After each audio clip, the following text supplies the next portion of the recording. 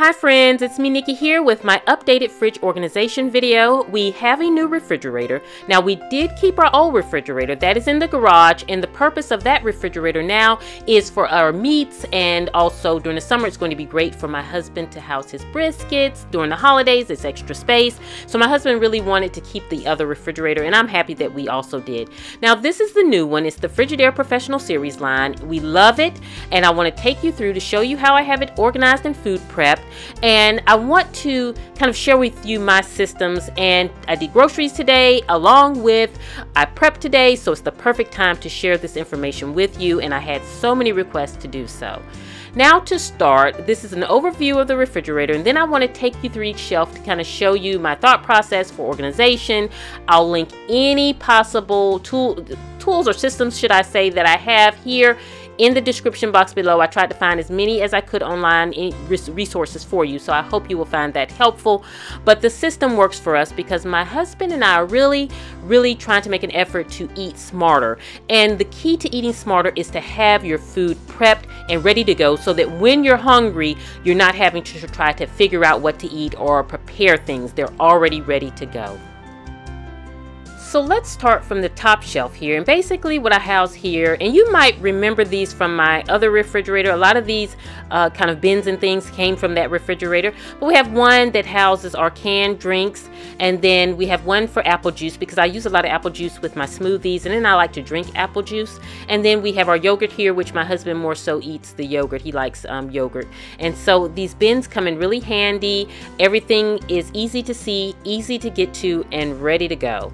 Now now below that on this shelf here, I have these stackable bins here along with a small water bin on the side because we like to keep some of our bottled water in the fridge just to have that on hand um, in case guests come over and they want a cold bottled water. Now in the first stackable bin, basically just keep kind of cheese items like just snackable cheese items, things that my husband can grab and take to work with him. The second one houses more cooking cheeses like the shredded cheeses and things that are, you know, to be cooked with. And then the last one is like our sandwich bin for my husband husband to kind of make his sandwiches for work or for home, just kind of a sandwich bin. And they're great because they're stackable, they really save space, and you really can fit a lot in that one little space in the refrigerator, so it really works out perfect for us. So the next shelf here is where I keep my food or meal prep tray here. And this is one tray that I put together so that I could prepare the dinner the night before. So say I'm having a busy day and I want to prep my dinner ahead of time I get all the items all the ingredients the seasonings all the things to make that recipe and I put it on this tray here. That way when it's time to cook I simply pull this tray out and I have everything to complete that meal ready to go. This is great for busy families if you're um, a working mom or working dad also if you're having a busy day. And not necessarily that I use this tray tray every day, but on those days that I know I'm going to be busy and I want to prep my meal ahead of time, this is what I use. And the great thing is you can take your meat out if you have to thaw out the meat for dinner. You can also incorporate it on this tray here. But again, I have everything outlined for dinner tonight already prepped, already measured out, so I can pull this out, throw it together, saves me time, and saves me stress. And this is a great thing to save stress also. So as for the other side is where we keep our whole milk and juice. I love keeping my juices and milk in containers. And then on the other side is where we keep our tomatoes and herbs and just kind of random vegetables. We eat a lot of vegetables, we eat a lot of fruit, so that's what you'll mainly see in our refrigerator. Now a key thing, for all of my containers that need to kind of be marked with expiration dates, I use this chalkboard label which is dishwasher safe. I'll link it in the description box below, but it's easy to just kind of wipe off, put the new date on there when I refill with a new carton of milk or whatever the case may be. But it just really makes managing my refrigerator easy. Um, it, put it on the eggs, put it on the jars, put it on anything.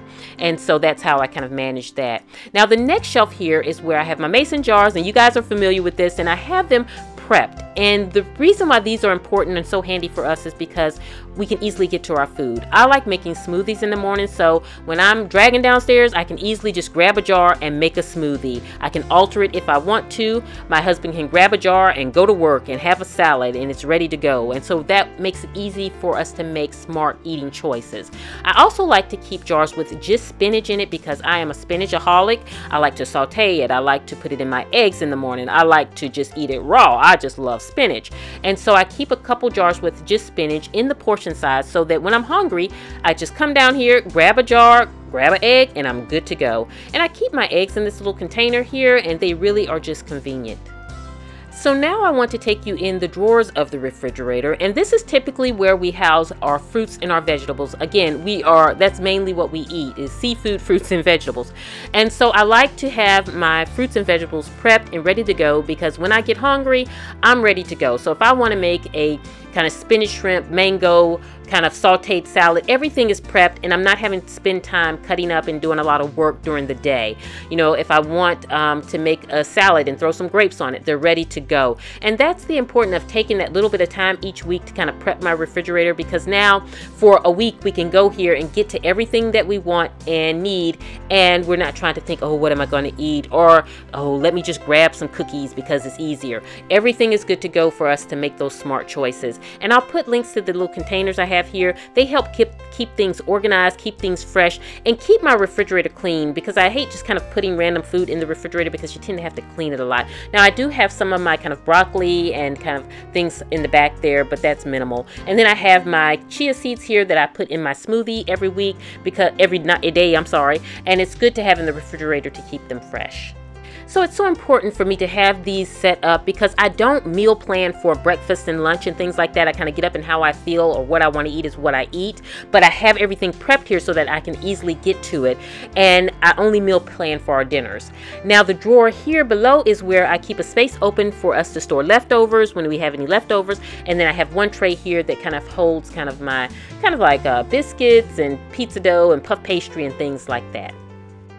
Now on the side of the door, I don't keep anything. I used to keep herbs in those top there, but when I transferred refrigerators, I, I didn't do anything with those. And then here I keep kind of creamers and I keep almond milk there in the larger one. And the other one is too is uh, coffee creamers, a variety of coffee creamers. And again, the labels are right on the back, the chalkboard labels to make things easy.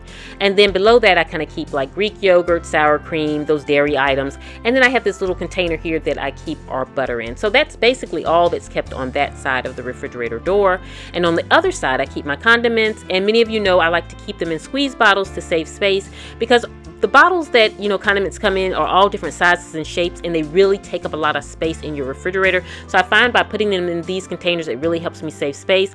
And I have two of these that are really large that I got from World Market that really and they're actually for cake batter but I use them for kind of my dressing and my mayo because those tend to be uh, larger condiment items and they really function well and they're easy to feel so I'm really happy with those. And again I got those from World Market. And then down here are just randoms pickles and jarred things I kept you know, I keep there. Now this is the overall of the fridge and now I want to take you into the freezer which is a drawer below basics are kept in here because again we have that refrigerator outside that can hold meats and things like that. So I basically keep things that I'm keeping on hand for our meals and things like that like frozen vegetables frozen fruit that I use for my smoothies our seafood. We eat a lot of seafood. And I have these little bins here that help me keep things sorted and organized. Very basic very simple but functions very well for us. And on the side here is where I keep all of our seafood. So all of the seafood is actually kept on that side. Now I haven't kind of figured out this top bin and organized this yet. This is kind of a slide out out bin, but I'm going to be working on that next. So this is our refrigerator that it really functions well for us. Again, the key is to prep so that we eat properly. You have to figure out what works for you and your family. You know, this is kind of what works for us and you want to do, you know, what works for you. So I hope you've enjoyed seeing kind of my systems that I use in my home. I love being able to share it with you. Please leave me a comment and like this video if you're enjoying the kitchen series videos. I'll see you at the next one and this is Nikki saying goodbye.